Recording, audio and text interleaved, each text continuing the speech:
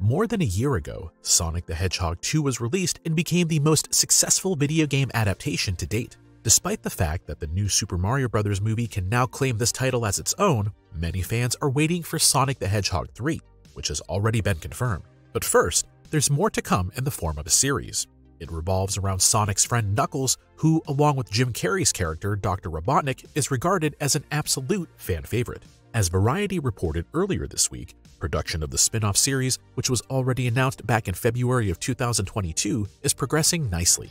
The official announcement about the start of filming was made via Twitter by director Jeff Fowler, who also directed both of the Sonic the Hedgehog movies. The shared image shows, among other things, the typical cowboy hat that Knuckles wears in the 1996 animated film, a signature feature of the Red Echidna.